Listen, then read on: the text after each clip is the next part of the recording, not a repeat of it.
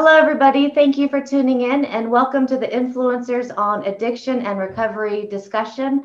I'd like to welcome all of our panelists and recovery advocates. I want to say uh, welcome to everybody on the call. I'm very grateful to have you all here to be bravely sharing your stories to help other people get help. Um, really shouting out to how uh, awesome that is for all of you. Um, we're going to start today with three different topics, and they're going to go from COVID just briefly.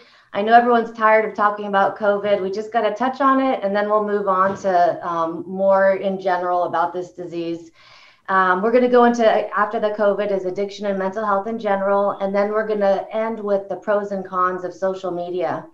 Um, before we get into that, though, I want to really highlight the panelists on this call today and um, just really shed light to the advocacy and the recovery advocates. I consider you all recovery advocates and panelists, whatever you will, just brave people who are really helping being leaders in this disease um, and recovery.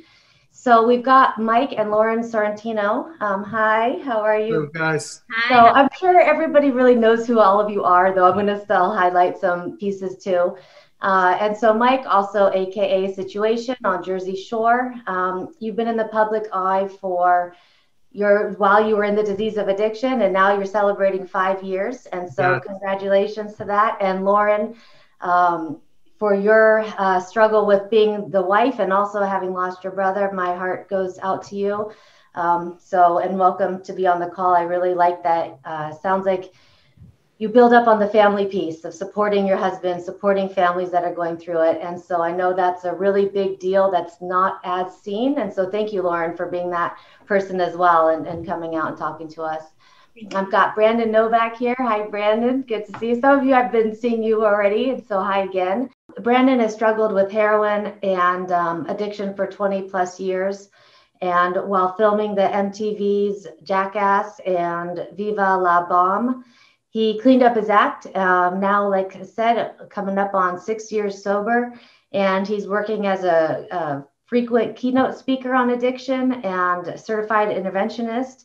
Um, also, a best uh, selling author and multiple addiction memoirs. Um, and so then, Jason, we've got you doing the firefighters in Florida and uh, mostly known for a lot of advocacy within the uh, first responders and the fire let's say Fire Department Chronicles. Um, yes. Watch some of those; those are hilarious, especially Thank talking you. about treatment and kind of spot on with the making fun of the food and all that stuff oh, too. Yeah. So those are funny. Thank you for that. Um, kind of a light-hearted way to talk about treatment and some of the comedy reliefs that goes into you know getting help and certain things that we do. I'll honor i'll own some of that stuff that we do with the deep breathing yeah. and you know. Mental um, health is a serious subject but it doesn't have to be approached in a serious way. We can have fun while we're doing it so yeah. so so agree so agree. Um, and luke we've got you here also. You know and, and your story is really the kent state football team um, you were on your way NFL with the New Orleans Saints, had an injury, um, prescribed opiates, and when the opiates ran out, went to heroin. Um, I jump. Yeah. yeah, it's I see that way too often, and so I think going forward, you know, there may be some more to talk about that too, because that's unfortunately a, a story I've seen a lot. Um, and now that you're uh, in sobriety and you're being an advocate for faith and addiction and recovery and really getting that word out to help people in a path. And so all of you here have really turned your stories into a way to help people. And I just really want to honor that and thank you for that. It takes a lot of bravery. Um, working in the field for 15 years, there's a lot of shame and stigma and you guys are just plowing through that and saying forget it don't care let's do this. And so i really want to say thank you for being here and being so brave to share your story because that it has a big impact on those seeking treatment. Um, and lauren i'm with you too at the family side so i have a similar story unfortunately in my history too. And so i think having that family piece come in is so huge um, because we can treat the person without the understanding and education and support, it's real hard for them to stay sober at home, um, you know, not having that. So thank you all. Okay, so I've got to start with COVID. I know nobody really wants to, or maybe I'm speaking for myself. I'm so sick of COVID, though. We really do need to touch on it just a bit. Um, and the elephant in the room is kind of the COVID talk. Um, I will say there's some really startling statistics that are out regarding COVID. Um, some of them are lower than I suspected, and some of them are right where I thought they would be. Uh, we've got an estimated 53% of adults um, reported mental health has been impacted. I think it's higher. so I there's other ones like mentalhealth.org, uh, NAMI, where they show statistics of a 93% increase in reports of anxiety. I believe that compared to 2019, they did a sample about 1.5 million. Um, it's not huge though. I think it's a more honest representation, at least from what I'm seeing in treatment too. And then a 63% increase in depression compared to 2019.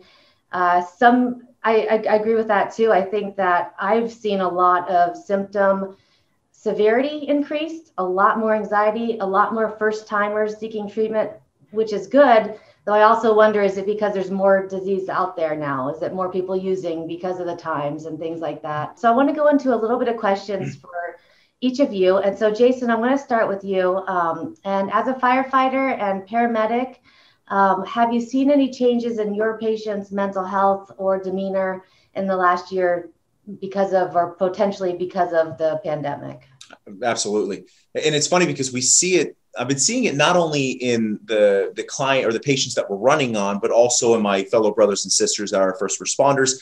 You know, for a lot of us, um, you know, the diseases that we've been taught about or exposed to, we're used to it now. Like we, you know, HIV and hepatitis and, and stuff like that. Like these are the things that we've been used to and taught. We understand that like how low the actual contraction rates are, you know, that kind of thing. So for a lot of us, it's been a scary time because now when we're leaving work we're truly questioning like are we bringing this back to our home lives? So that's really impacting a lot of the mental health uh, for first responders in general. But with our patients for for the first time i've been doing this for about 14 years now for the first time ever when we come to the front door they are questioning whether or not they want us to come in. So they're bringing the people out to us you know that kind of thing. Um, so we're seeing it from um, you know uh, them being very careful with us for for once in my lifetime them not being as trustworthy with us because they're not sure. Um, but also it's impacting them because they're afraid to go to the hospital. They don't unless it's an absolute necessity they don't want to go. So you're seeing this underlying anxiety of, of of constant nature with them because again they're being exposed to something that they've never seen before. They still don't understand. The fear is what's taking over a lot of this. So yes we're having a huge impact on mental health. And then as you said said, people are at home more. They're able to drink more if they do drink. They're, they're bored. They don't know what to do. So they're drinking, you know, so on and so forth. Uh, and I think during the beginning of the pandemic, one of the only things that stayed open was grocery stores and liquor stores. So, you know, you're, you're going to, you're going to see something like that. And, and that snowballs very quickly. So we end up seeing the tail end of that kind of stuff. Yeah. Thank you for that. Mm-hmm. And Mike and Lauren both, I wanted to ask you, um, over the last year, you've both been working as recovery advocates. And uh, wanted to get a little bit of an idea of how the pandemic has affected your ability to work with families or individuals. Uh, can you share ways that it's impacted that piece of it? Or if it hasn't, either one. yeah, um, the past year, like most of us, we've been on quarantine. You know, we've uh, we've haven't been able to travel as much. We haven't been able to uh, go to treatment facilities. We haven't been able to do some of the things that we have wanted to but we pivoted. You know, uh, the virus has cost has caused us to uh, be more creative. We do interv- interviews from home. We do Zooms from home. We do meetings from home. I think we did more in 2020 uh, than we would do go, going to visiting facilities, which I was very impressed with. We had done uh, a meeting and a Q&A um, almost twice a month um, and, and, along with some of the press opportunities because of the popularity of Jersey Shore, we were able to use our platform to, I think, get it out more in 2020, even though it was difficult than any other year. So I was very proud of us for doing that. Right. I think at first we were a little confused and stressed of like, how do we get in front of people face to face? Because that's where the message really resonates with, mm-hmm. especially new patients would be when we would visit Banyan's facilities and you sit down and you know everyone's closed off to you, they don't trust you, and then you kind of tell them your story, they understand where you've been, they open up, and we weren't we didn't know how we were going to get that connection. But luckily, everyone pivoted really quickly at Banyan and yeah. immediately got on Zooms, and that connection was there. So it helped out. Yeah, thank you for that. I was going to ask how um, different ways that you got the message out there. And I, I, I see that too. I didn't know what Zoom was till a year ago. and I, yeah. I also wonder if maybe the younger kids are going to be able to adapt to this easier uh, than maybe myself, who's, a, you know, I'm in my 40s and I'm like, what is this? so I'm glad that it sounds like Lauren, you and Mike have uh, some uh, easier ways to get to the social media because I, I do think that's going to be more seen going forward. So thank you for that. And I, I just want to put out there that we've got you guys are doing like the Hope Dealer and different Instagram live discussions and like you said the Q and A. And so really working to get the word out on that. I appreciate that. Yeah, yeah, we're doing we're doing a lot right now, um, and we work on a monthly basis with Banyan um, we've worked with Brandon before. We worked with Jason before. So we're so excited that we have this team that we can try creative ways with YouTube and celebrating each other's uh, milestones with sobriety to get that message out and sort of um, use each other's platform to work together to really get this out. So I'm, I'm very excited about this. And Brandon, I wanted to ask you as the addiction um, intervention professional, it's kind of the same question as Mike and Lauren. How has the pandemic affected your ability to see families in person or to work with the clients that you've been working with? Um, you know, Mike and Lauren answered it spot on. Uh, I'm speaking as a, as a fellow who's uh, in long term recovery from uh, alcohol and addictions and, and narcotics and whatnot. It's I have a disease that's centered in perspective and perception, right? So how do I choose to look at this terrible pandemic that we find ourselves in? And and and how I chose to see it was us simply being divinely inconvenienced, right? Mm-hmm. And and using the platform that I have to portray that message to to the hundreds of thousands, you know, millions of, of people to let them know that like there's a way to stay sober throughout these really inconvenient times, right? And um, I can say for myself because I knew that like the the addiction that I suffered for 22 years and God bringing me to this point that there was no way He was going to kind of drop me here and say, "Good luck, I'll see you when I see you."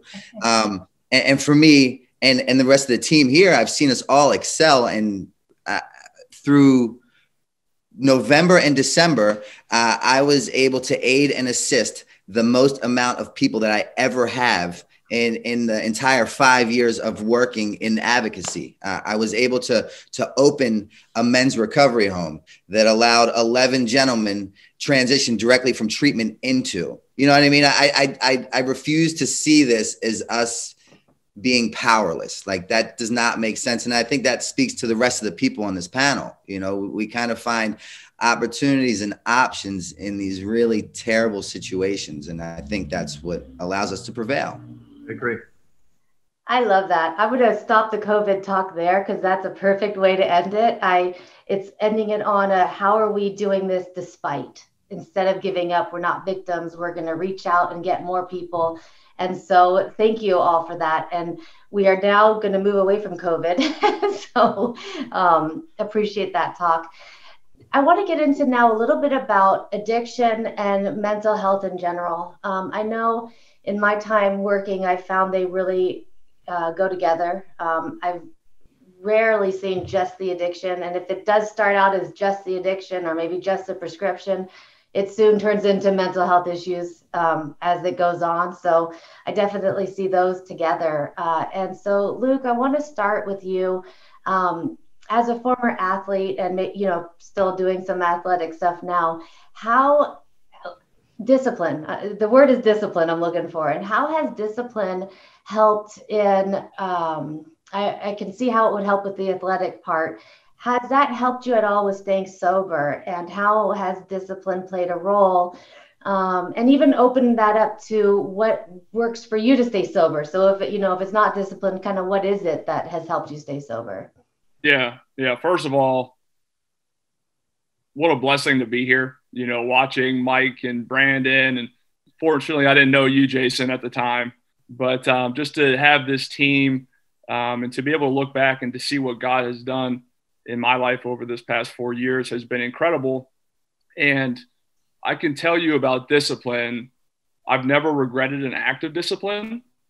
And um, for me, it's just become like a daily routine. You know, first thing in the morning, um, something spiritual, whether it's my Bible or just for today. And then getting into the gym. I actually haven't missed a day in the gym, um, even if it was just 30 minutes since I got sober. So just really building that so that when crazy things like 2020 happens, you fall back on that. You know, you fall back on your on things that you've built. And so often in early or in addiction, really, we we have that we can't we lose the lack of impulse. You know, we just the first urge or the first thing that comes to our mind, we we we act on it. And one thing I encourage people to start building that discipline is to get around like-minded people. Um, one of my favorite coaches told me you become who your five best friends are. Mm-hmm. And one of the biggest things that shifted for me were the people I was hanging out with versus the people I was hanging out with in recovery. And those were the guys going to the gym with me. Those were the guys I was hitting meetings with. Those were the guys I go to church with. And still to this day. So to build that discipline that I had in sports and that I have in my recovery now, the biggest thing is to get around people. And just like we were talking about, you have to get creative, whether it's there is a ton of Zoom meetings. Um, like Mike was saying, I think I attended more meetings this past year than maybe I did previously, you know. So I was able to build relationships in a different way. And I encourage people in early recovery um, to to find those ways and and just trust God. You'll look back and, and you'll see how far He took you. So um, get around good people at, at all costs. It sounds like the perfect uh, routine for staying sober is gym, tan, and laundry. Yeah. I, listen, I, am trying to I'm trying to pitch Mike after this on doing a you know a gym tan recovery. Yeah. yeah. My, my, recovery is definitely very similar too. I, I fall back on uh, my routines uh, and discipline of self care and self love. Exactly what he's saying. And I feel just like a, a, vehicle. If you don't wash your vehicle, if you don't put gas and oil in your vehicle, um, it's gonna, you know, it's gonna fall apart. So you have to take care of your body. So I'm, I'm a big believer in the approach of taking care of mind, body, and spirit. Yeah. Yeah, thank you, Mike. I want to stay on this for a minute. I think it's so important talking about self care, self compassion, taking care of yourself it sounds uh, it can sometimes sound easy though it's really hard too is to take a moment and get out of the drama of whatever's going on and really focus on yourself and how are you feeling what are you doing i know a lot of times i tell my clients just because you have a craving doesn't mean you have to act on it. And they looked at me like i'm you know like they're new in recovery. They're like, what are you talking about? And do you have any tips for self-care and or not acting on that impulse? Like what has worked for you? What could help our listeners today? I know for me, um, acting off impulse was kind of par for the course with addiction, right? I think I do. Uh, I, I want to leave treatment. I leave treatment. I want to get high, I get high. And, and, and what I recognize is 99.9% of the times I always regret those decisions that I had made off impulse.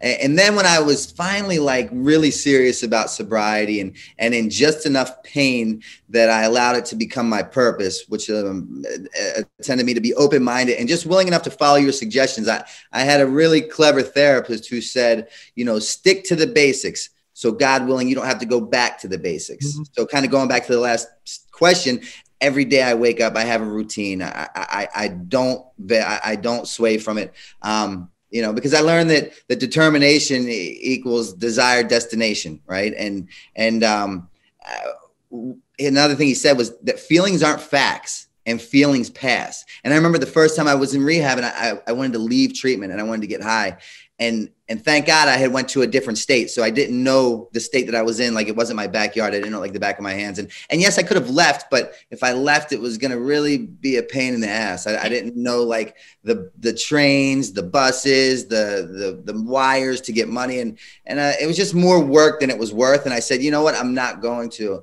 And lo and behold, I didn't leave. And guess what? That that feeling passed, right? Because I didn't act off impulse. And what I did was I used that as a stepping stone because believe it or not, those feelings occurred again. And then I could relate back to like the last time that I wanted to do that and how bad and how detrimental it felt and realize that feelings aren't facts and they pass. I also think understanding that normal movement of feelings like we, we're so comfortable with like the two sides of the pendulum. We're okay with being extremely angry or extremely happy, but we're not okay with not being okay, like we always like to say, right? That that uncomfortable feeling of like you wake up and you don't feel the same way that you that you did the day before. You weren't as happy. Like for me, a lot of times if I get up and I'm feeling a little under the weather, I'm more tired than I normally am. I kind of start I think back about the last 48 hours. Oh, I did really heavy deadlifting and back squatting. My CNS is destroyed right now. So like this is a normal thing to feel, right? So I have to stop for two seconds, think about what just happened. Oh, and now I can I can actually put a correlation of why I'm feeling this way to where, how I'm feeling, and then a lot of times it allows you to uh, have those things pass. I, also think it's uh, it's okay not to be okay sometimes. You know what yeah. I mean? Life is not perfect. Life is going to happen on life's terms. And also, I think uh, I'm wise enough and mature enough to know that when you're uncomfortable, when you have that feeling, um, that's when you're going to get some growth in life, you know, whether it's mentally, physically, or spiritually. So I think what might help some people is thinking, you know, the one day at a time. You know, also what Brandon said is getting back to the basics okay and if you're always in the present moment and you know you work towards working your body and and you go to your meeting and you go through your checklist and your routine like luke said at the end of the night you let down and put your head down on the pillow and you're like you know what i did good today let go and let god so for one day at a time we don't use every single day repeat and eventually you'll turn around and like, oh my God, it's weeks, it's months, it's years. Brandon's about to hit six years. I just hit five years. And that's the reason why we are we are where we are. Yeah. One yeah, thing to add, I would love to add is, you know, and I see this people leaving treatment. I everything for me comes from like a sports background, and I had this coach that drilled this into my head. It drove me crazy at the time, but he said, "Failing to plan is planning to fail." And so, uh-huh. knowing I'm going to put myself in an uncomfortable situation, maybe it's leaving treatment in another state to go back home, um, making sure that there's things in place, people to check on you, um, having someone check in on you. I know early in my journey, like three months sober, I had to go back home for somebody's uh, funeral. And I had vivid using dreams. And then I went home and, you know, had this incredible urge to use, like undescribable to someone who's not in recovery, and ended up flying back to Florida early. But luckily, I game planned um, to really help myself from something like that happening. And so I always encourage people to have a healthy respect. We're not going to fear our addiction, but have a healthy respect for it and to put a game plan in place for situations that we can control.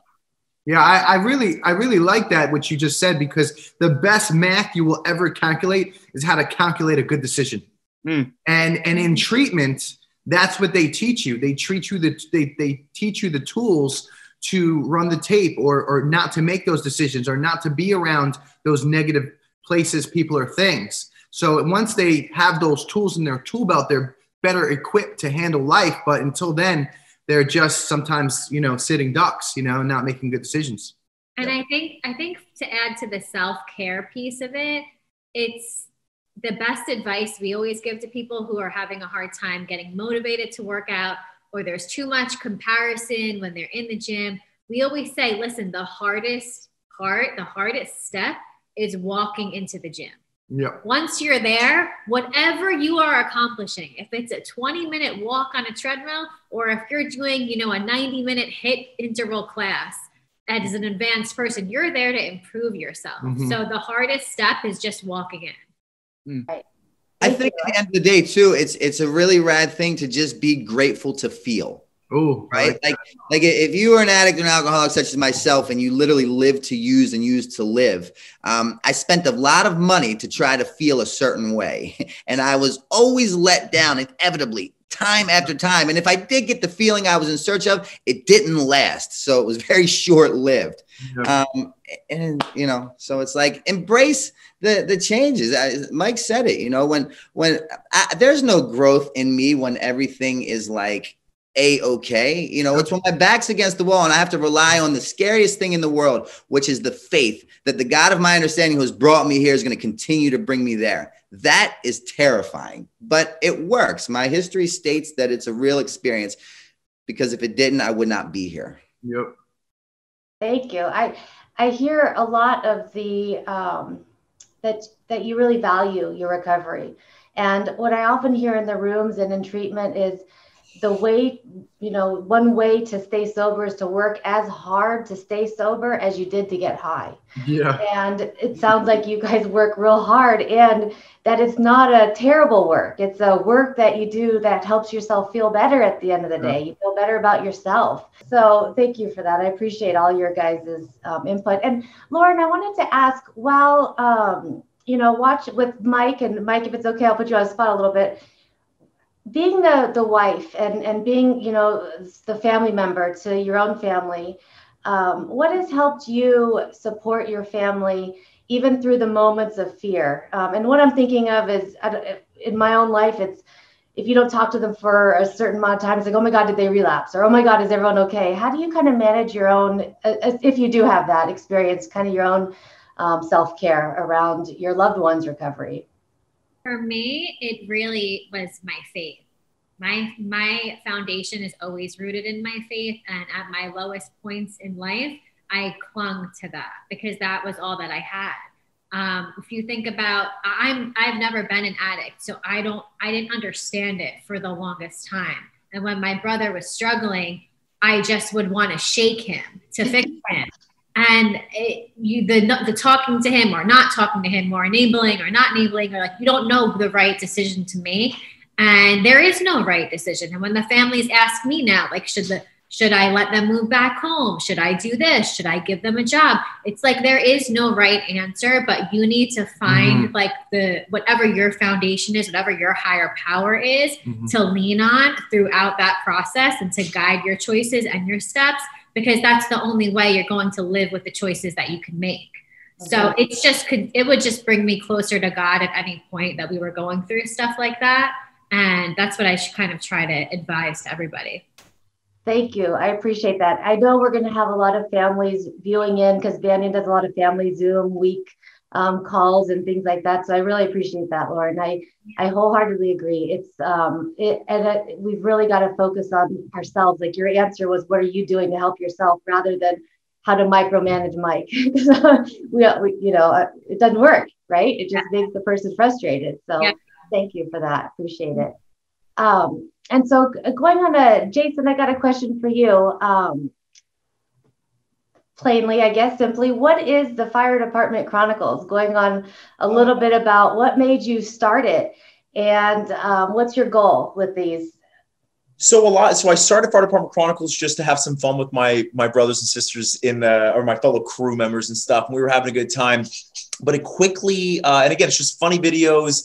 I, I, I've always said that you know um, humor is very relatable. It's whatever like you find funny or, or, whatever you've experienced throughout your life that you tend to find funny. So i started putting these videos out but what was really cool was after about six months of putting them out there i started getting a lot of messages guys like uh, guys and girls like hey this is really helping with my mental health. Like we come back from a bad call we you, we see you put something out about you know different calls that you run or different firefighters that you work with we laugh and a lot of times it opens up conversations about things that we've experienced within the uh, um, the shift itself.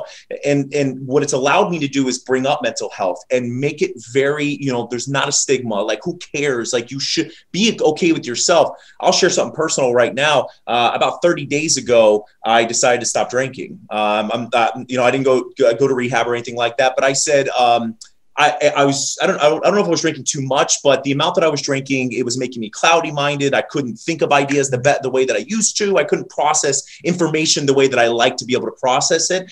And I was like, maybe it's the alcohol. And I stopped drinking, and it's been great since. Now I'm like firing off stuff like crazy. But um, I, I went out and got uh, some lunch with a buddy of mine who's a firefighter. And we were eating, and he's like, I'm going to order a beer. Do you want one? And I was like, nah, I'm good, man. I'm not drinking right now. And there was like this moment where he's like, wait, you're not drinking? Like, what's wrong with you? I'm like, there doesn't have to be anything wrong with someone because they don't want to drink. So I, a lot of people, they find this shame in it. But for me, it's like, hey, this is who I am. This, I don't want to drink or I don't feel like it. I don't like the person I am when I drink.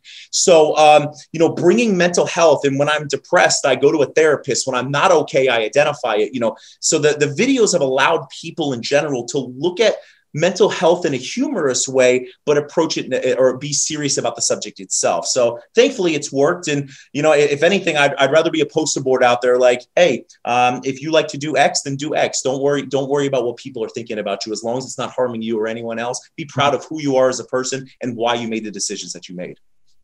I love that. I want to touch on that too, because I also, even though I'm not, you know, in recovery, I'm more in the Al Anon and the CODA side. Um, when I choose not to drink, I get the weirdest looks. And I'm like, I just, I don't want to, like, yeah. you know, but it's almost like I have to justify, you know, or maybe let me just get like a glass of club soda and put a lemon or something. Yeah. Um, and so I wanted to know if anyone else has that experience, and maybe that could be our next break the stigma. It's okay to be sober. it's okay yeah. not um, in the beginning of my recovery, uh, I was filming uh, season one of Jersey Shore Family Vacation. It was definitely the first time I was sober, and it definitely was a bit awkward. People don't know how to, you know, uh, handle social situations where someone says, "I'm not drinking." They it totally flies by their head, and three seconds later, you want a shot. You're like, I could have sworn I just told you that I'm not drinking. But now, going on five years, everyone I think knows by now I'm a million times better sober. You know, I'm funnier. My lines come out quicker. I look better. Uh, I'm smarter. I'm I'm better better of a man. It's just the way that I'm made. Uh, it took me a while before I was able to find out that this obsessive personality that I had, um, that I can fine tune it and direct it towards positivity and, as I call it, my superpower. Back when I was in my 20s, I didn't know how to direct it. I, I, I was like the super villain of reality TV. I didn't know what I was doing, and um, eventually I learned to, like I said, fine tune that to now, uh, you know, all my behaviors are positive and I always exhibit balance, which is key. So I always tell people about that. I think it's just a side note. I've always said I think it's impressive what Mike and Brandon have done. Like their platforms were built on you know alcohol and having fun and doing I don't want to say stupid things, but you know party, woo uh, and they took that reversed to it and became like true advocates for you don't have to base your life off of those things you can if you're if you're heading one way you you, you know you drive a, a red car now i want to drive a blue car and and that's what my life is and i tell you it's it's super super super impressive what both of you guys have done Thank you. Thanks a lot, Jason. I was actually going to say, you know, my my my drinking and my drugging was done on such a public platform for so many years that it kind of uh, it, it allowed me to create this character, which for any alcoholic or addict, it was like a, a, junkie's dream because the the more outrageous my behaviors were, the more outlandish my antics are, the the higher the ratings went, the more in demand I became, which meant the more money that I made. Mm-hmm. Um, and then what happened was the party stopped being a party, and and it, and it paid nothing but pain and misery. Mm-hmm. Um, and I went, I got sober, I stayed sober, and and what I've learned is that like you know, two years into my sobriety, I was out in LA and I found myself sitting in a, in a bar restaurant with uh, Nikki Sixx from Motley Crue and, and Kat Von D, who's like this crazy, wild tattoo artist. Um, and, and we sat in this restaurant and talked about recovery for like two hours.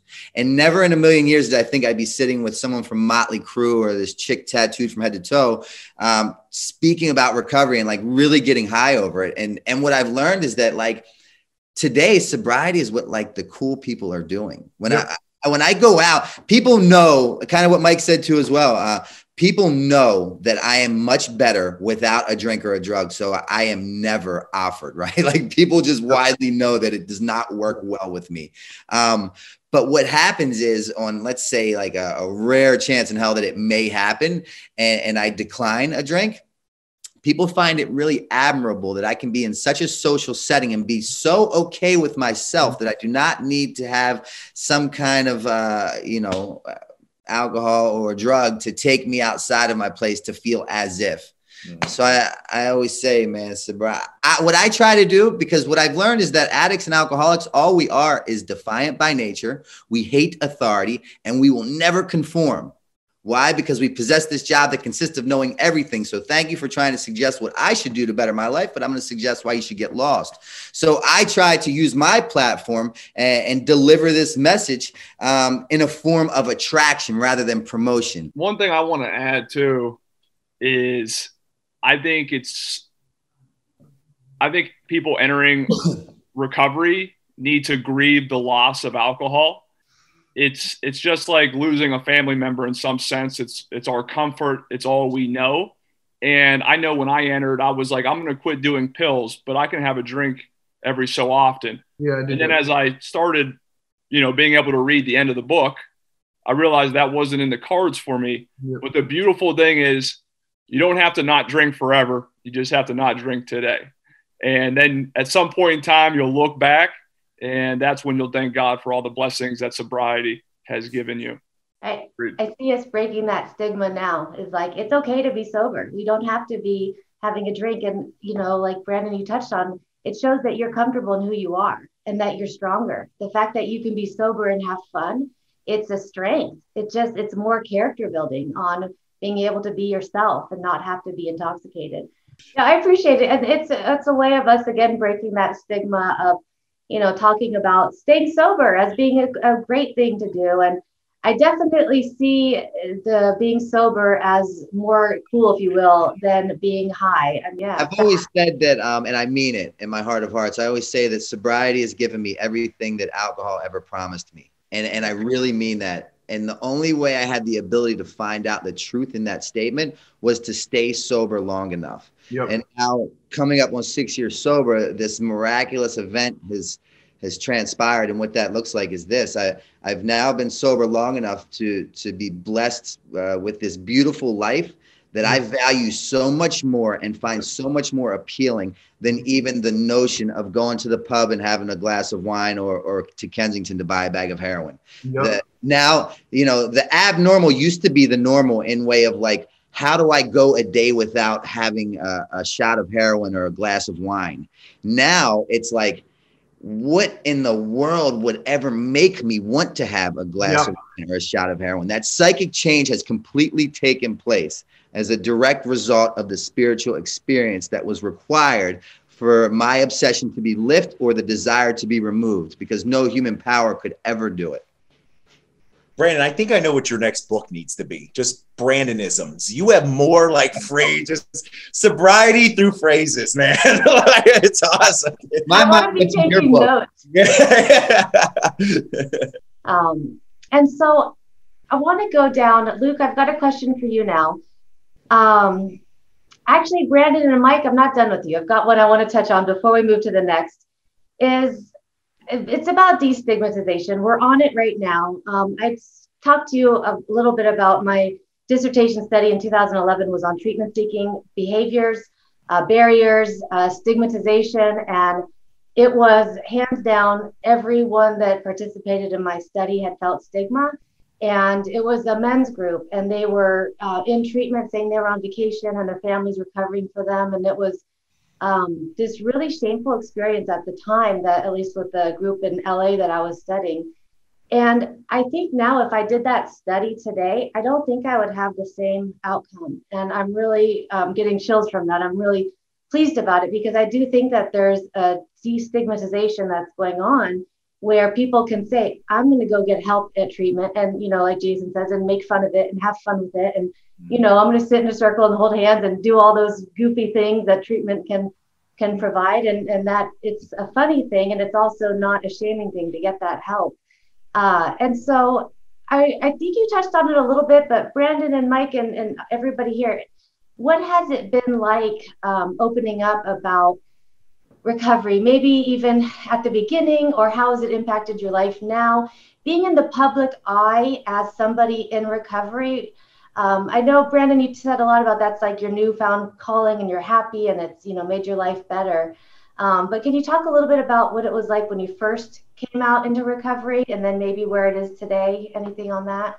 There wasn't like a day or a specific event that I can look back on and say that's when I came out right? Like what, what I remember was I, I completely bought into the notion of the 12 step program that I belonged to, right? I, I didn't resist.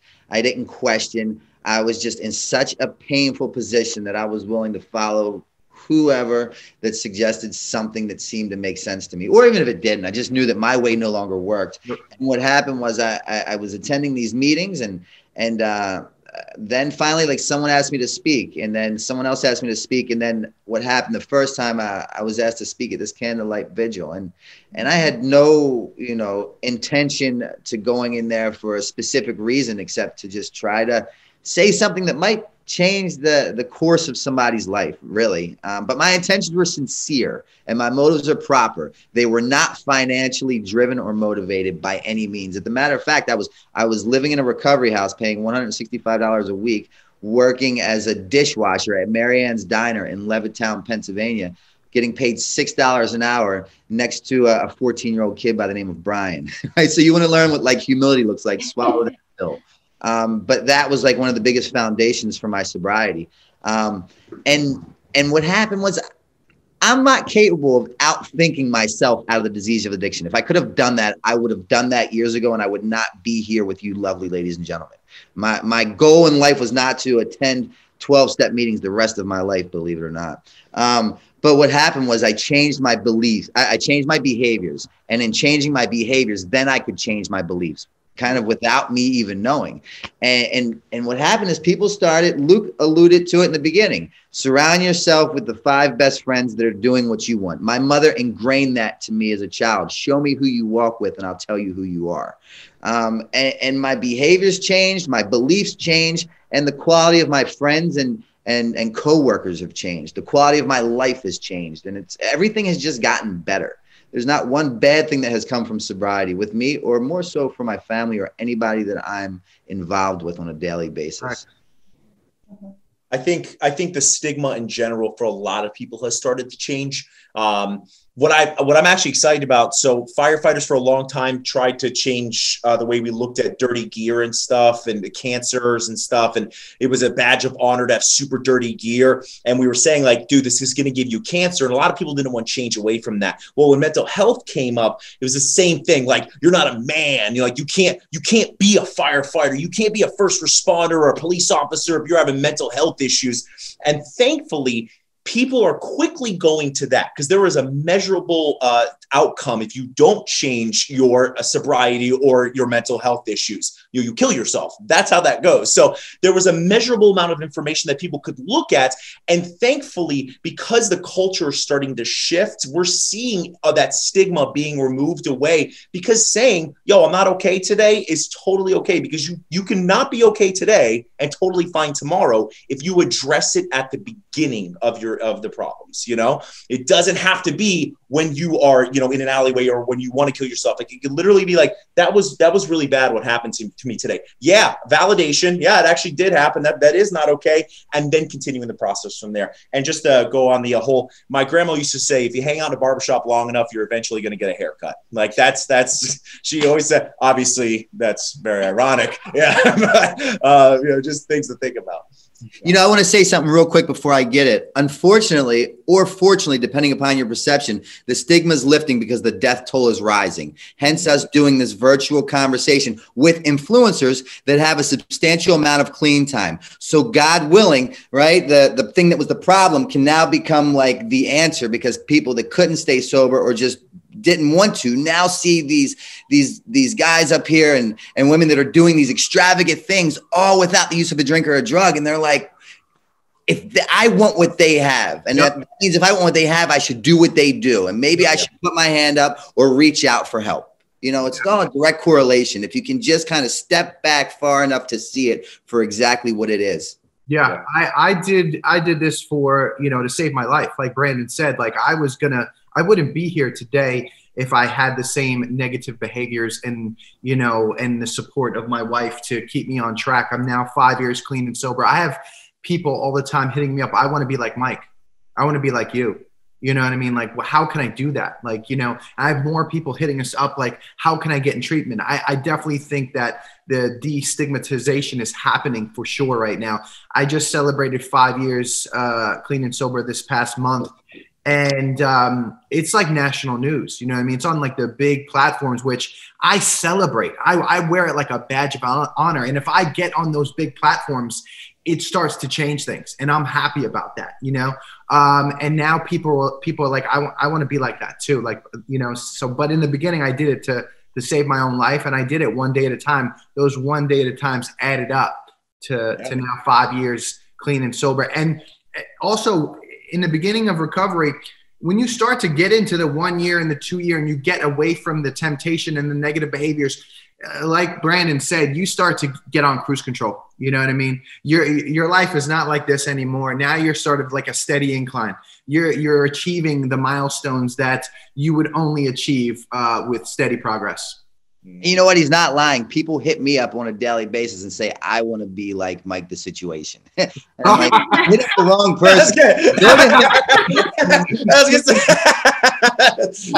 well, I, am going to tell you all, I, I, people, clients come in and they'll reference your stories. I, I mean, they'll say your stories, and it's no small thing. The fact that you all are here and you're talking about this, you're paving the way you are doing something different that 10 years ago wasn't being done. And so I want pat yourselves on the back yes. because it is like a huge, huge uh, accomplishment to have the bravery. And, and I, maybe at five years, six years, but you know, may not feel as brave, but I'll tell you, I've been in the field 15 years, so I've seen it change. And it's finally going in the right direction with people wanting to get help and getting help is a good thing and it's the right thing to do and being healthy and meditating and focusing on your mental health is actually uh, not dorky anymore, you know. Um, or, and if it is, good to be a dork, whatever. Right. But the fact that you guys are all here is just huge. So I really want to say, and you know, Lauren, you being here to support and all of it, it's such a, it's a family thing. It, it really is, and um, I can't say enough about that. It's so I just really want to say thank you again. I'll probably say it five more times, but yeah. you got to know my history as I've been in this field a long time. And a lot of it was really trying to find clients an avenue where they can feel good about being in recovery. And that is, that is such a hurdle. Luke, I'm yeah. sure there's a message out there, somebody wanting to be like us. I doubt it though. Yeah, you know. uh, you know, I'll tell you. well, I'll, I'll tell you this. I'll add something I think all of us have seen a great pain in our life become a purpose. Mm-hmm. And one thing everyone should understand about this last topic we just touched on is we've all had a spiritual experience at some level. And I believe that we, especially for myself, I'm rooted in my faith in Jesus Christ. And so um, it was totally freeing to to have that relationship, but it also breaks off uh, this other external life that I was trying to live anyways and it was driving me into a deeper hole of addiction. So understanding that we're we're so blessed, um, but it's also driven in a in a faith experience that I believe um, you know all of us have had you know it, it really is such a, a family disease. It, not just the the addict or alcoholic suffers it, it, it, spreads. It migrates throughout the whole thing and it and it ravages. It does not understand you know race religion creed lack of religion it, it knows no boundaries. Um, but you know what's the raddest thing and it's funny that we're talking about this you know right before this my mother called me and my mother is my everything and and she's the same woman who bought me a plot. She's the same woman that that that, that took life insurance policies out on me that that served me with a restraining order that that went to god and said please cure him or kill him. I swear to god right before we called on this she called me and she she said, uh, Barney, she calls me Barney Fife. She said, Barney, I'm just calling to tell you today is five years and eight months clean and sober. So I agree. Days to me kind of blur together. I don't count them anymore, and that's truly a blessing. But you know who does count them? My loved ones, and that's the biggest blessing in all of this. Awesome. Love that. It's great. Mm-hmm. I just also feel that you know life can be really tough at times. Why add to it with a substance? And case in point, example: if you're going to drive a vehicle, right, and you decide to drink and drive if you calculate that decision, guess what's going to happen? You're most likely possibly going to crash, uh, hurt someone or yourself. So that tells you right there, you know, about certain substances. And and if you couple that with someone that has an obsessive personality, you may never stop drinking and you may die from it. Right. I also think, you know, I, I, talked one time about the firehouse. The firehouse is a very um, group mentality kind of thing. The person with the loudest voice tends to drive the people in one direction. And, and, and a lot of times, if somebody walks in there and speaks up against the person with the loudest voice, the, the group tends to shift in the other direction. And that's what, you know, everyone in this, in this feed has done, you know, uh, Brandon, Brandon and everyone is they, they've walked into a room and they've said like, "Yo, being sober is fine. There's absolutely nothing wrong with being sober." By the way, I'm still the life of the party, and everyone's like, "Huh." Huh? Yeah, maybe, maybe that is the way to go, and maybe they'll have a couple less drinks that night. Like it's it's it's definitely when when someone with the biggest status or just the person that's willing to push against the David against the Goliath, like just willing to push against what everyone else is doing. A lot of times you create a huge monumental shift in people's thought processes, and that next day may be their first day sober because they're like, dude, Mike was in there killing it, man. You know, making everyone laugh, having a great time, and he didn't have an ounce to drink. Like that, that's what a lot of people need to see. I, I always say my brother passed away October 13th, 20, 2013. And I always say, I wish that he got to see Mike where he is today because he's always looked up to Mike. Mike's been in my family for we've, we met in college years, so yeah. we've known each other for 15 years mm-hmm. and when my brother had passed mike was going through his own ups and downs and active addiction. But I wish, and my mom even said it then too, because she does a lot of work in Al Anon and that kind of stuff to help her heal through the grieving process. And we just wish he had these huge people of influence showing him how cool it is to do it, to do life this way. Yeah. Absolutely. Yeah, thank you. Thanks, Lauren. I know I, I wish I, I hear you on that one. Absolutely. Um, and I think as family members to our loved ones that are in this recovery, us not being ashamed of it and us being proud of it and building it up as a strength and something we were really just yes. Um, and that's I, I, think that's our part too right? It's like to support our loved ones getting sober and being sober and, and having that too. So thank you for that. I love it. I, I love that. And i agree. Let's not stop. Let's keep going. No. the, the disease is not going to stop so we can't either right? Yeah, and I also like the fact that we have this panel that we're working together and we can use each other to leverage our own strengths to help each other move forward in this movement.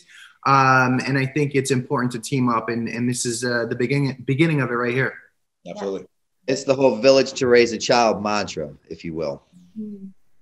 Thank mm-hmm. you. Yeah. Was, I got, I've gotten, I've received some of the raddest feedback from from stuff that Mike, you and I that we've done together, and, and Jason as well. And they're like, "Wait, why, why, or how do you connect with these guys?" And you know, it's just so cool to see the cross promotion. Someone and, commented that you commented on one of my videos. they were like, yeah. "Holy crap, Brandon Novak!" I laughed so hard. Dude. And normally our paths would not have crossed. Yeah, I mean? they just wouldn't have. And it's it's the coolest thing, man. It's so cool. Yeah, yeah.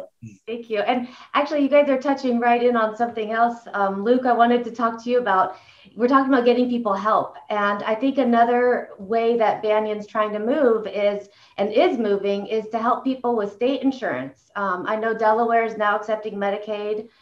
Um, and we want to get these resources and get this out to everybody. And, you know, there's different avenues for that. I just want to make sure that the listeners and all of us could, you know, we focus on how to get everybody that treatment. And so, Luke, my question is that what are some of the resources that you have out there um, for people who need uh, treatment, who have maybe no insurance or state insurance? Um, how do you tackle that, uh, helping people and, and things like that? Yeah, yeah. So first of all, Banyan is 16 facilities across the country, and we are trusted by about 100 different insurance providers um, that we have in network contracts with. So we can just about take any private insurance policy. But one thing that's been really cool is our ownership. They have now contracted with different states so that we could take Medicaid. And so it really opened up our net to help a ton more people and I know one of the big stigmas for, or one of the big barriers for people to go into treatment is they feel like they don't have the right insurance, they don't have money. You know, I want to say this loud and clear that everybody deserves recovery, and that regardless of your financial or religion or your ethnicity, that you are loved and that you deserve help. And so there's a team of about 60 of me at Banyan scattered all across the country that have about a thousand working relationships with other facilities. And so we all the time, I know people reach out to Brandon and Mike. We can, if you have absolutely nothing, there's a road for you to get help somewhere. Mm-hmm. Okay. So as long as you're open to a different path, we have a team of experts across the country mm-hmm. that can help you. So it might not be with Banyan, but understand that you are worthy of that help and that we together can come up with some sort of game plan to get you, you know, a chance at recovery. One of the uh-huh. things I fell in love with with Banyan was I had a firefighter call, say, Hey, I need to get help. We didn't take his insurance. It was just unfortunate. It was one of the insurances that we couldn't take because of state restrictions and stuff like that. It's like he said, there's 60 other people. Not everyone's as good looking as Luke, though. uh, but you know, there was is a team of 60 people, and throughout that network, we found the perfect facility for them that took their insurance. We were able to get them the help that they needed. Our end result is we're humans. We want to help people, and that will always be the baseline of who we are. Right. If you want treatment, reach out. That's the bottom line. 100%. We'll figure it out. Especially with Banyan. If you want help or you know someone who needs help and you want to work with people that can help in that direction, call. Call Banyan. That, you know, let's just make that happen. Um, yeah. All right, I'll get off my bandwagon for a minute. yeah, well, I think it's also important to mention I saw a number of people uh, DM me and they're like, you know, how did you do it? How did you put your life on hold? And I'm thinking to myself, what do you mean put your life on hold? Until you handle this problem that is addiction. And if you don't handle it, you may not make it to treatment. You may die. You know what I'm yeah. saying? You know, and by me going to treatment, I found a better way to live. And like Brandon said, I wouldn't be the man I am today and have all the things that I have if I didn't go to treatment. I'm sure MTV would have not given me a contract five years ago if I was still the same person. You know, back in the day, in the networks, they didn't trust me. They're like, oh, he's he gets a lot of attention, but we can't trust him to show up, or we don't know if he's gonna leave a set or throw a microphone at someone and just leave and go cop something. You know, now five years later, I'm dependable. People want to work with me. Um, it's it's nothing but positive vibes, and that's all because of me giving up my way of thinking and just having acceptance and saying, you know what, my best way is not working. I got to do, I got to ask the professionals. I got to go to rehab. All hands need to go on deck right now. It's for my life. Yeah. I kind of, I, I, man, he was spot on what he said, Mike, just there. And it's funny because I get a lot of messages like that too. And I said, look, I, I, I'm just going to pride myself here on being a realist. And right now, you have this job that you don't want to miss, but the reality is you're a junkie with a job, and there's not a, a, a, there's not too much longevity with that job. I guarantee you, your face is not hanging on the wall as the employee of the month. You're probably holding on to it barely at best.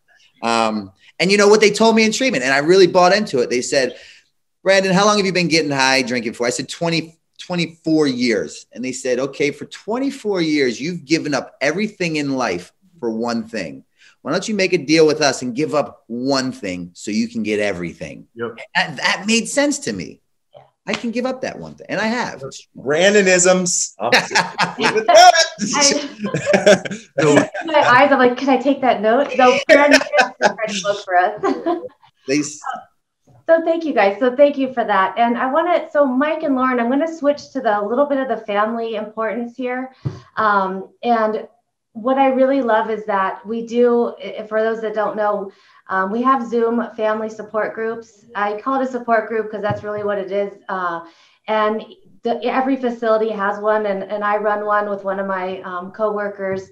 And it's a way for you know there's no way to be an expert um, on any of this though i think families supporting each other during this time and just giving each other advice and thoughts there isn't really like a manual on what to do like you were saying lauren earlier. It's more how do we help and not hurt right? So for me it's like how do i help support my loved one um, without doing for them what they can do for themselves uh, you know the, the behind the message is if i'm doing everything for them, then they're not learning how to, to live themselves and they're not learning how to stay sober themselves. And unfortunately, I learned that the hard way.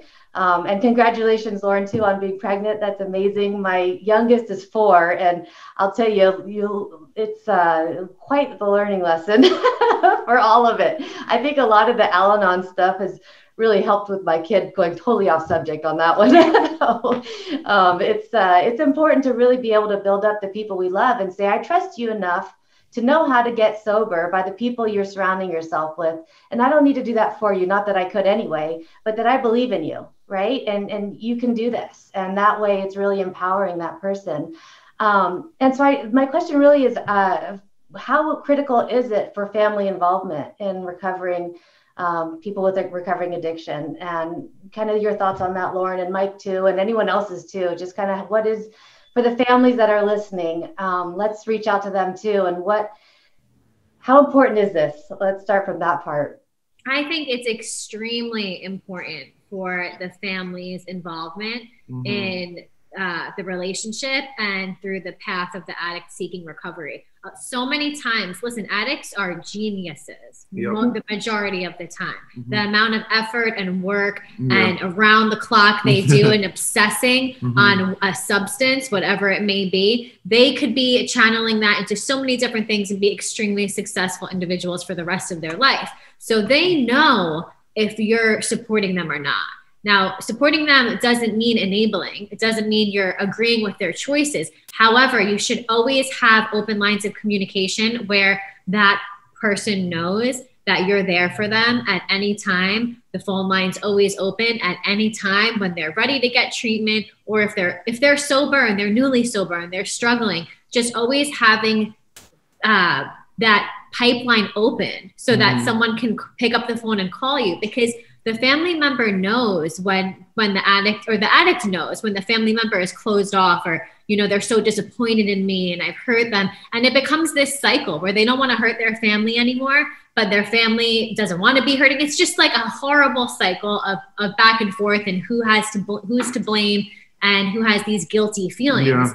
and there's really no way of healing that until you get sober and prove it one day at a time. But until then the families you just need to have a healthy relationship. And just like you said, you can't, you have to empower them by letting them make the decision, right? You can't create some toxic codependent relationship because if you're demanding them to get treatment in mm. order for you to be involved in their lives, you're making a complete codependency that's just never going to set you up for long term success in any relationship, parent, child, or spouse, or anything like that. So you just need to keep those lines of communication open that you love them, and you're always there for them anytime they're ready to make that lifestyle change. Yeah, I, I definitely think it's important that the it's optimal if the family would be educated uh, with these family groups, um, so you kind of know what to expect, um, and you sort of don't do the um, the telltale bad things that you're not supposed to be doing.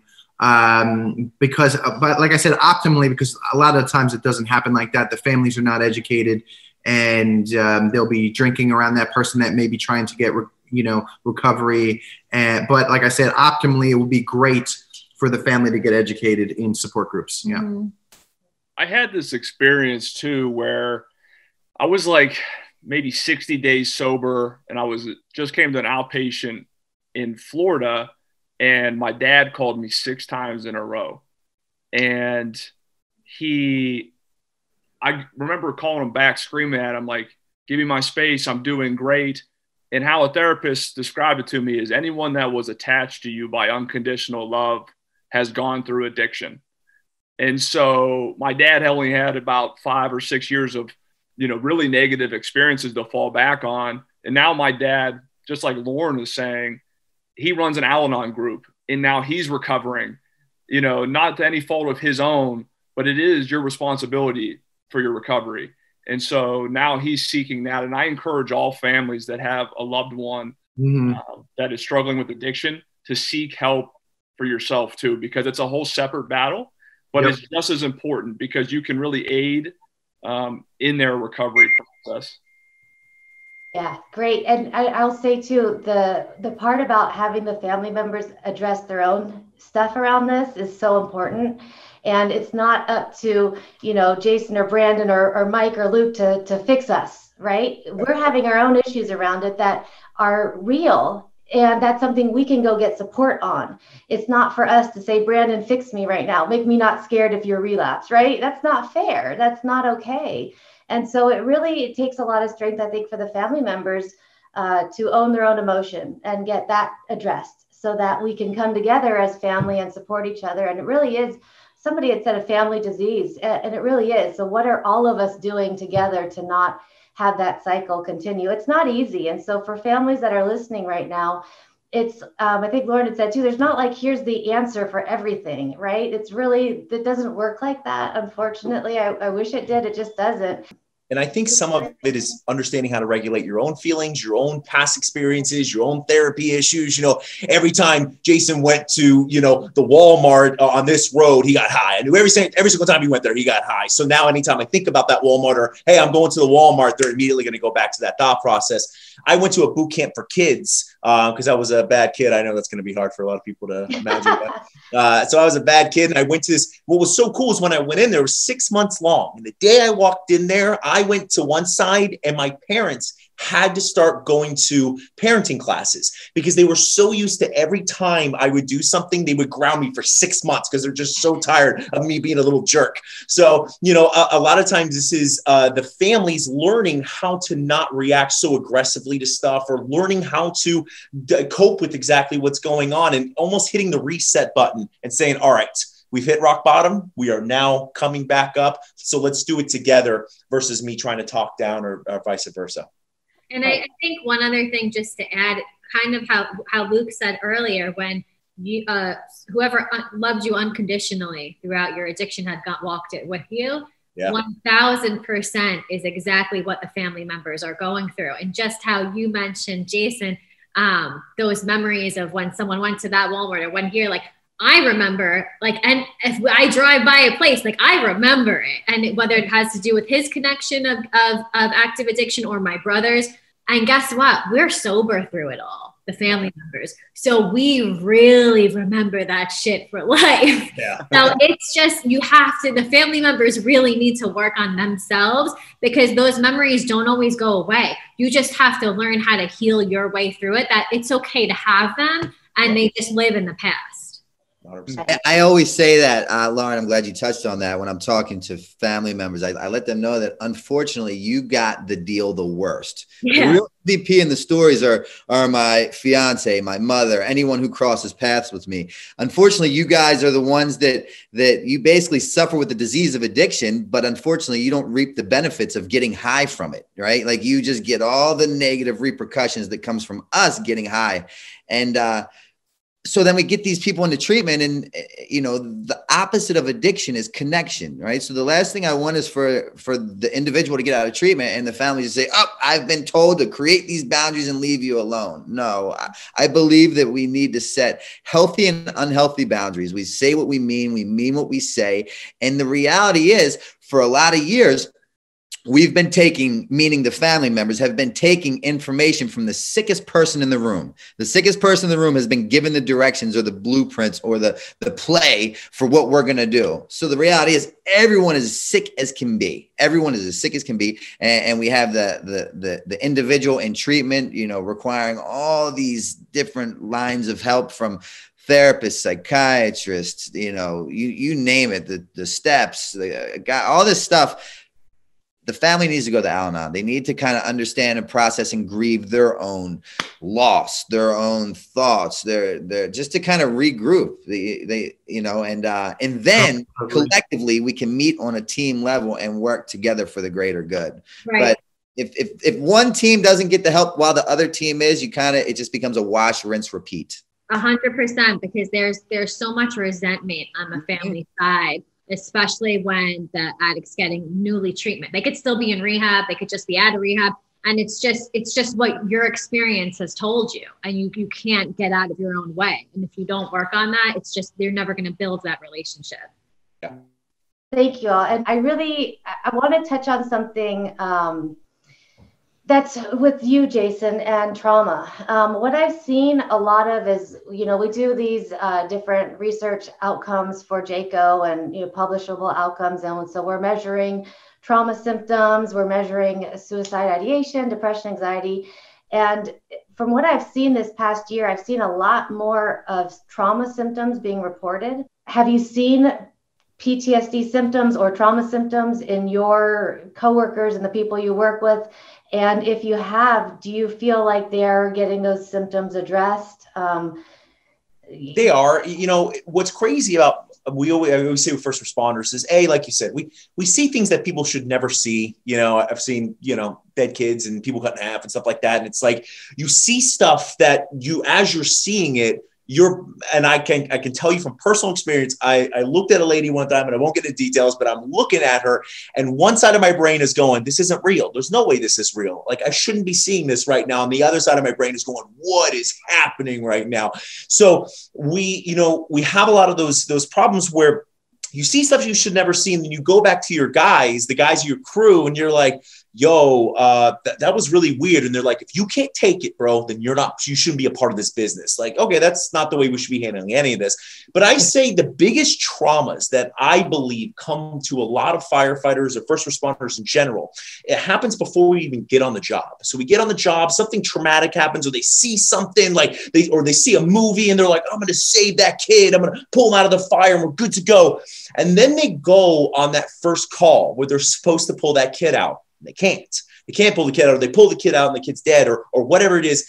And now that thing, that that level that they built themselves up to, they never achieved it. And everything that they've worked for in the last 20 years of their life, or however long it took them to get to that point, is destroyed. So, you know, th- this this thought process of themselves being a hero is very quickly diminished. And then God forbid there are additional or or we call it like micro issues leading up to this the PTSD is real, but these guys are not able to go back to their fellow brothers and sisters and just say, yo, that was really bad, and have somebody validate it and not make fun of them and not be like, oh, what's wrong with you, man? Like, you deal with this, you don't.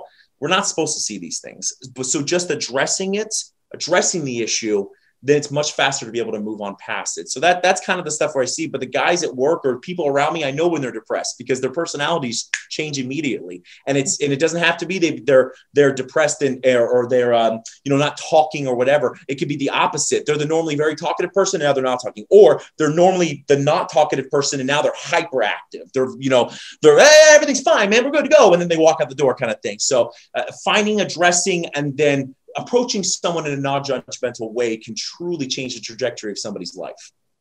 Yeah, thank you. Um, you know, we all have emotions, male, female, anyone that's a human that has a brain that has emotions, we all feel it. We all have tear ducts. We uh, so let's break another stigma. It's okay to cry. it's I okay to have crying. a depression. Crying is one of my favorite emotions. I mean, I don't do it often. You know, I always say if you're crying four times a shift, you need therapy. Uh, but you know, like a good cry, man. You watch a good movie, you just you know, like, like the tears are flowing. You feel genuinely better after. The hormone release from that is monstrous, dude. So like, it's a good thing to cry. It's it's awesome.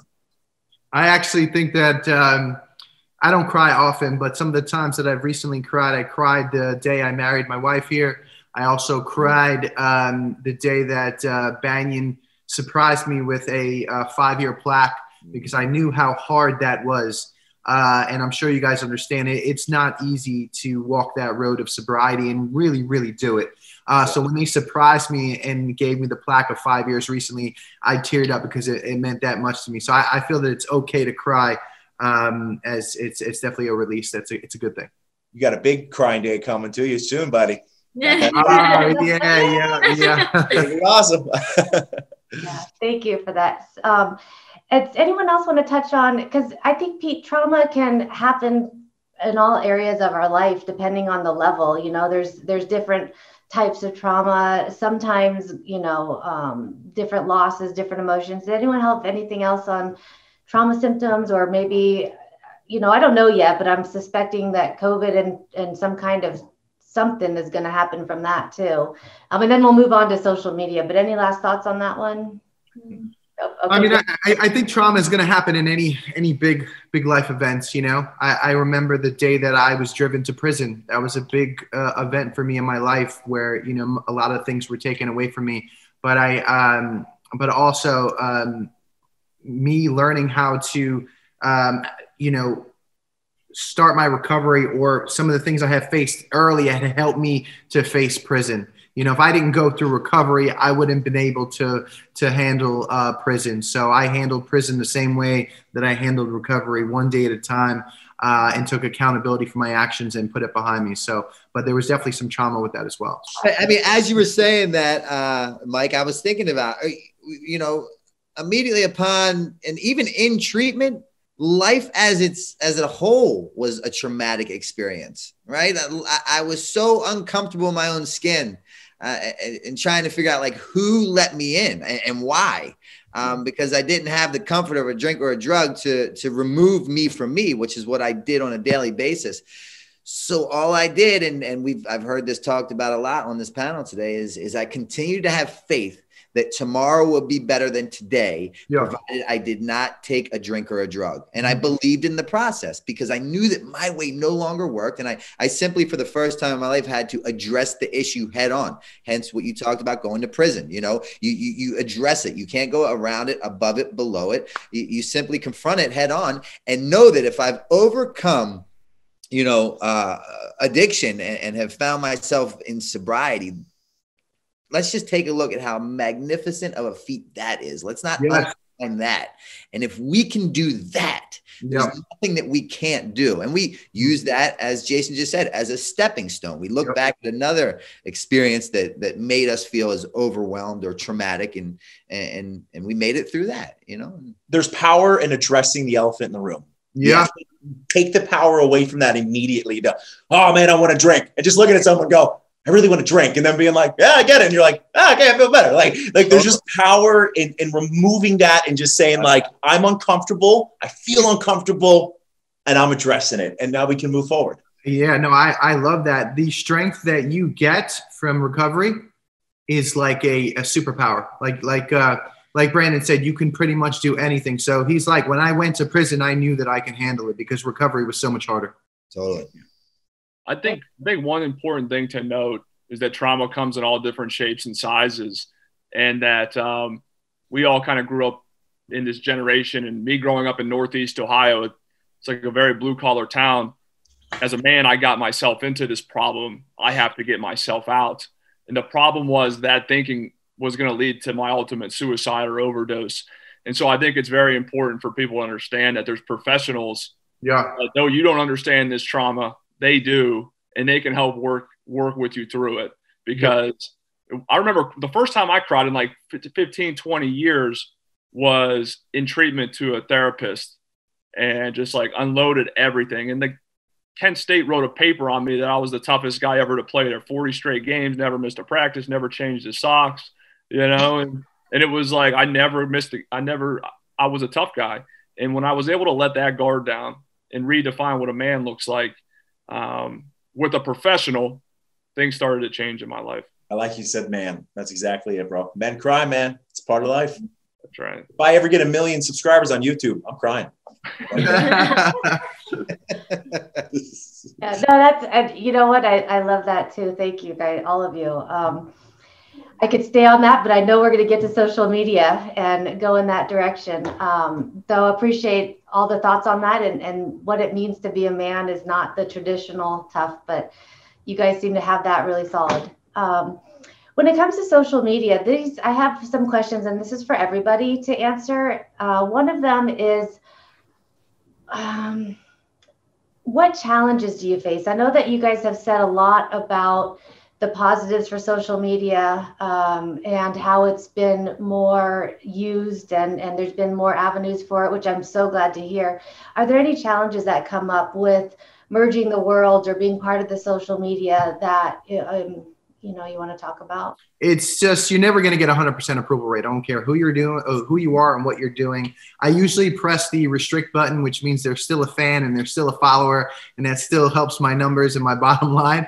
Um, but uh, at the same time, it's also uh, when you understand psychology. Um, if someone says something negative, it says more about them than it says about you, and it's sort yeah. of like a mirror. Once you understand that, and that uh, humans are very emotional beings I don't take it very personal at all. They could be having a bad day. And a lot of the times, once in a while, um, when someone says something negative, I, I know what I'm going to get back in, in response. I'll send them God bless. They could say, Mike, I hope you jumped off a bridge or whatever it is. Do you want to know what they say like clockwork every single time? I just wanted to get your attention. Mm. Yeah.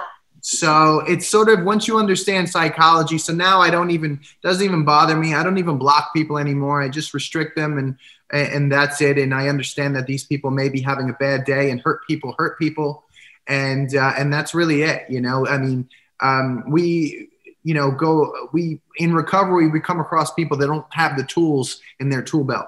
Yeah. You know, uh, Brandon does, and Brandon's got some cool things to say. But he's learned that over years and years of of recovery and therapy and trial and error. Um, I can't expect uh, someone else that on the streets to have that type of intellect or or that type of or, or you know to be evolved like that. Yeah. Yeah, I, I, always say that. You know, again, I said I said it before that uh, my disease is centered in perspective, and and and I am always the problem, right? And all I can control is me. The moment that I put expectations on other, I am immediately setting myself up for failure or a, a resentment, right? It, it is impossible to believe that I can control any person, place, or thing ever. Yep. So the sooner that I can understand and realize that, the easier my life becomes because all that I can control is my thinking, my attitude, and my behavior. Yep. So it makes the world like less heavy. Um, and and after all, what I know is that through my own recovery is that we're all sick people. We're all sick, and, and I don't know what your sickness looks like as opposed to mine. Even in sobriety, I'm still a really sick person in different areas, and and uh, who am I to say how how they should act, respond, or uh, you know? And if you catch me at, at, the right time, which it does happens, I I will you know come back with a, a, praying hands emoji or a heart or maybe a kiss if I'm feeling really frisky. Yeah, uh, same, same.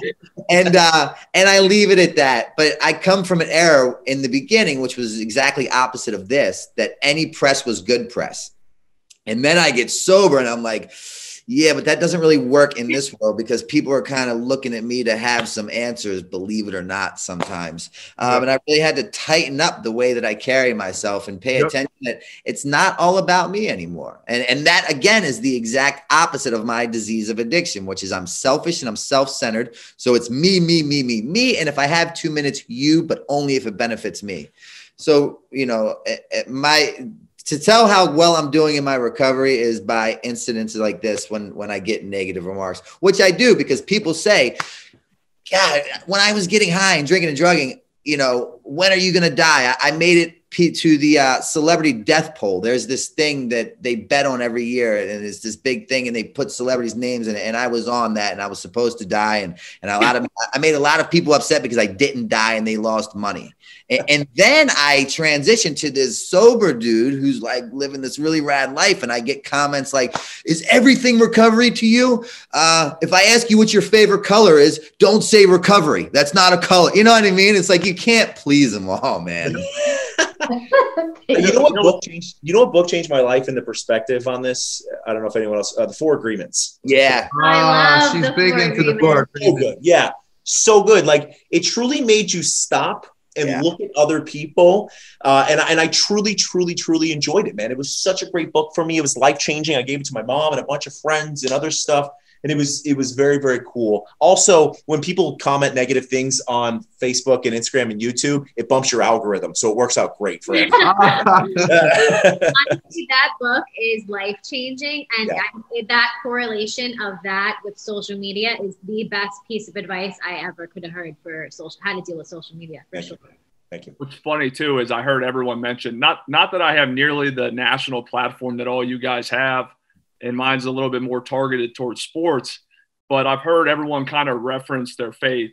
And I think that we all done this to a higher calling. Like I mentioned, that it's a pain to purpose. And one thing my dad always told me when I was playing sports is if you live for the applause, you'll die with the boos. Yeah. And so knowing that we're not doing this for a round of applause, we're doing this for the person that we don't know we're helping. You know, we're not going to see that reward in on earth. But I think uh, Lukeisms was just born. Yeah, no, I, I, like that. I like that. Yeah, it's it's yeah, a good. That's pretty good. It's uh, seek respect, not attention. It lasts longer. I like that one. Mm, but yeah. also, what Brandon said was, I, I like the fact that um, he brought up expectations a lot of people don't know that that's a huge you know problem. Expectations pride and ego you got to run through a lot of daily decisions and confrontations and human uh, human uh, connection when it comes to ego uh, pride and expectations. And so um, i don't have expectations either with with anyone and it, it, it leaves a lot of problems out. Oh yeah it's it's it's hard i will not lie man i wake up a lot of days and and you know in my life in my recovery i'm one of two ways either don't you know who I am or or please don't ask me who I am. Right. I'm that like happy medium. And, and a lot of days I wake up with I hear it said, but it's true, like untreated alcoholism. And, and so what I've learned to do is not touch my phone for like the first hour because I'll get on and I'll start scrolling Instagram, Facebook, and all of a sudden I'll let like the media that I'm consuming kind of control or dictate the outcome of my morning. Yeah. So it's better for me to just have like a fresh start and kind of because I believe mentality creates reality right? So, like, what am I thinking? What I'm thinking is what I'm believing, and what I'm believing is what I'm portraying, not only to me, but to anybody else. Um, so it's it's tough though because if you're in a position to kind of you know do some things and create some change there's a lot of responsibility that comes with that. So when i when i snap back with a, a response to a text off impulse without really thinking it through I, I can like create some damage. And i'm like shit. Yeah, yeah, it's almost like you're about to come off with like a paragraph dissertation, and all of a sudden in your brain it's like hashtag growth, and you delete it. You're like, oh, Rewind. totally. You know how many arguments I've won writing an entire paragraph on Facebook? Like, and then I'm like, ah, no, good. and I don't hit it. I just go back. Like, all right, forget it. And then yeah, yeah, I feel better. It's real that, yeah, that's an excellent skill. It reminds me of the DBT, the wise mind. Uh, what which mind are you going to act in? And mm-hmm. it's hard, whether you're in recovery or not, it's hard to to not act on impulse and ah, respond really angrily in those situations. I tell new medics take one breath. Take close your eyes, take one breath, and you'd be super impressed what happens on the other side of that breath. So and a, and, and a lot of times people are not ready to hear your perception. They're the, you know they're they might be very um, dead set on what they have to say. So it's like you know if you argue with a fool, it only proves that there are two fools. So yeah. a lot yeah. of the time, silence is the best answer. Yeah, whenever I'm about to respond, I always have to say to myself, and I do it on a daily basis, probably at least four times a day. Um, it's much better to come from a position of understanding as opposed to being understood. Yeah. And and then I, you know, and the answer is, if we're in recovery, acceptance is the answer to all. So mm-hmm. it's like, it is what it is. I've learned from this entire thing that everyone on this is very intelligent and I need many more phrases in my vocabulary. Rattling these off. no, I love this. I, I'm having so much fun with you guys. I'm just so um, where all of you are in your recovery and everything. It's way past. Uh, well, I mean, I'm not trying to compare. I'm just saying you're you're really um, enlightened, if I can use a word. Uh, that's not just for recovery, but for anybody who's walking around in this this earth is to yep. just have a sense of who am I, what am I giving off to others, and so uh, yeah, great, great work. Um, I want to ask uh, for everybody again. What can I do? What can we do? What can the people that are listening? What can we do to bring validity and respect to the industry, to what you all are doing, to the the platforms you're creating? How can I jump on that? And how can the listeners, you know, other people like me who are going, I want to, what can I do? You know, how can we help bring validity and respect to what you all are doing? I think in uh-huh. general, just respecting a, another person's journey, understanding that, you know, people's journeys are completely different than others. You know, I just stopped drinking because I didn't like the way I was acting, you know, or the way I was, I was thinking like that's my journey, you know, who knows what the further journey will be. Um, you know, respecting the way other people are and and understanding that you know uh, Brandon won't act the same way that I will, the same way that Mike will, you know, and just and and actually finding joy in uh, the differences in humans. I think that that's yeah. a big thing. And genuinely appreciating the fact that if you did not have ups, you would not have downs, and if you didn't have the downs, you wouldn't appreciate the ups. Like that. That's that's how I I've always lived my life. Jasonism number one. Mm, I'm um, I would probably just say to uh, educate yourself uh, on the subject. Uh, don't be so close-minded. Uh, kindness is the new culture, and be the change that you want to see. Mm. Wonderful. Oh, Thank you. Yeah, that. I like that. What does advocacy mean to everybody, to you all? Um, I, I guess I'll start. I, advocacy means to me that I'm simply a product of my environment. I, I was a guy that that was hopeless and helpless without a cause and indefinite search for a, destination and, and and I failed miserably every time and and and and I'm a firm believer a hard head makes for a soft ass. And I, I had failed so many times that I, I found myself in a position that I was willing to to do whatever it took to get myself out of this position. And and and miraculously I was not only able to get sober but stay sober. And uh, I, I'm just so grateful at the results from from you know my recovery that I believe and I can't get enough of talking about it. And if it were up to me, I would scream it from the rooftops, hence using my platform of social media and, and whatever other outlet uh, that I have. You know, it, it would be completely asinine for me to receive such a beautiful gift that every one of us, and I literally mean every one of us out there are entitled to. Every one of us are entitled to this beautiful gift that all of us panelists have received. Um, but unfortunately, I believe a lot of people miss opportunities of how to better themselves because they're simply not aware. Mm-hmm. So here we are. Yes. Um, you know what? Um, I, I love exactly what Brandon said. I just feel that, you know, uh, I'm a phoenix and I was meant to rise from the ashes, okay, and show other people that they can do it too. And um, I was meant to fall, you know, in such a big way in, in the public eye but I was also meant to rise in, in, in even more spectacular fashion uh, so that, you know, like all of us, all of us, we're proving that the comeback is greater than the setback. Yeah, I think what they both said combined, just for me, being an advocate is in the recovery world mm-hmm. is leaving judgment at the door mm-hmm. and opening up kindness and sharing our stories from the family side and his side to just share our message and inspire others to live a better life. Yep.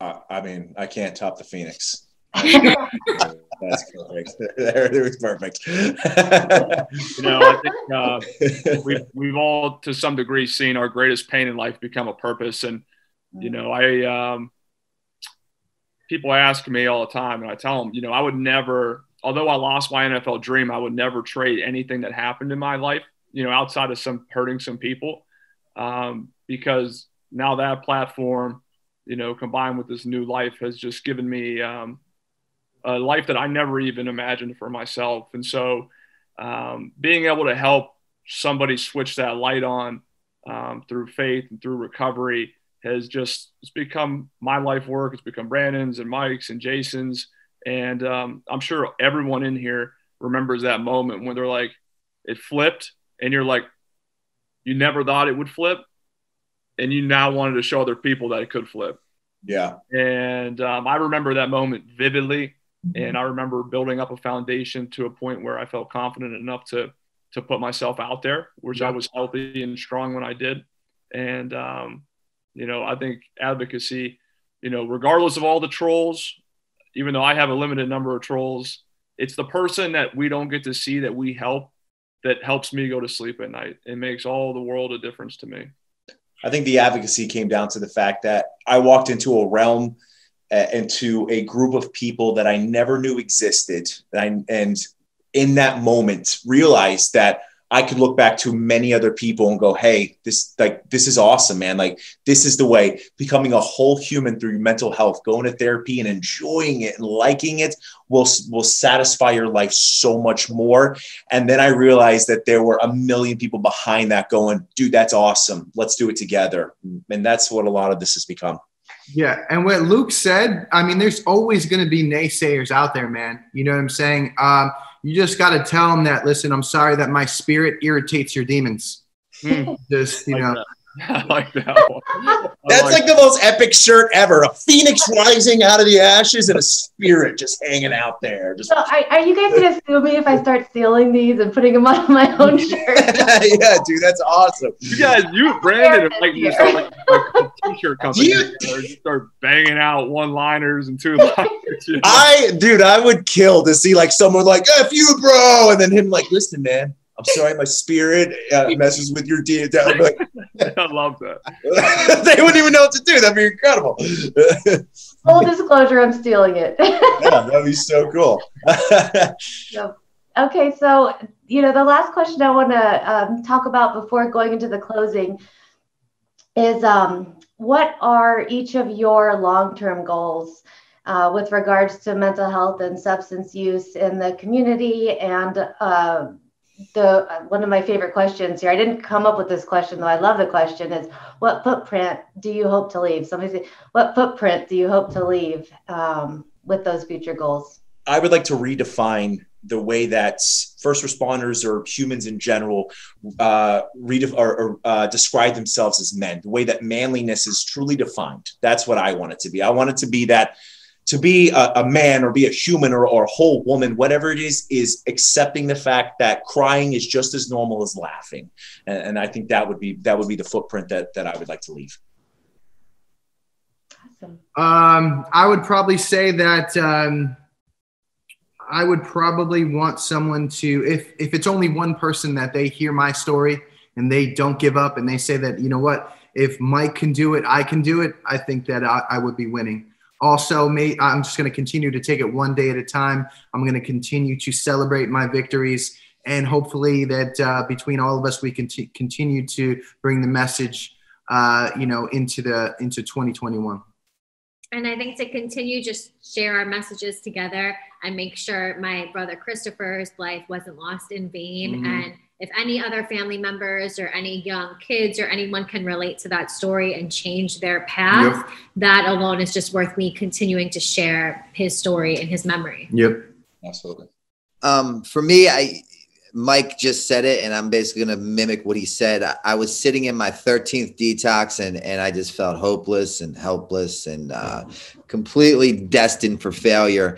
And they played uh, one of my mentor and dear friend by the name of Chris Herren's video, and uh, and and it was at that moment going back to the cry that we talked about, I hadn't cried for many years, right? I was so disconnected from reality. And, and they played his documentary in this detox. And it was at that very moment that I believed that I could do it because I'm witnessing someone else who lived the way I lived. And, and if justice was due, he would have been dead years ago. And he's talking about this really awesome life. And I had to get up from the group and I walked outside to continue this cry because I couldn't let all the people see me cry, right? And it was at that moment I believed that I could do it and things were going to be different. And uh and that's what I've proceeded to do is is just God willing, allow my to, my story to become a form of attraction rather than promotion. And and if I can push someone one person to believe that they can do it, then they can do it to another. Two become four, four become eight, eight become 16. And then we truly begin to change the world and addiction uh, and the stigma upon it from that perspective. Yeah. And just to, again, echo what everyone else said, and I love what, what Lauren added. Um, just to carry everyone's cross and to keep people's spirits alive. And um, life is hard in general even outside of addiction. Maybe you're watching this, you don't even know if you are an addict or if you have an addiction issue, or maybe you're addicted to alcohol, you don't know. Um, just understand that we love you and that there's a whole team of, of uh, people at Banyan Treatment Center that uh, can help you through this journey. And mm. so um, that's become my goal. Take it one day at a time and uh, I'm blessed to be surrounded by a bunch of great people, especially this panel. So, again, with closing, I just want to thank each of our panelists and joining us today in this discussion and uh, the recovery advocates and the recovery work that everybody's doing. I want to really say thank you for turning in. For those of you who have tuned in to watching this um, discussion, I'm hoping it gives you some peace and some hope for getting your own recovery or helping a loved one to seek recovery. On behalf of everyone at Banyan, myself included, we look forward to a positive year of growth in 2021 and continuing to help our population and families with this disease. And we are also excited to announce we have two new locations opening up. Uh, one will be in Wilder, Texas, and the other one will be in Baldwinville, Massachusetts. So look forward to that opening soon.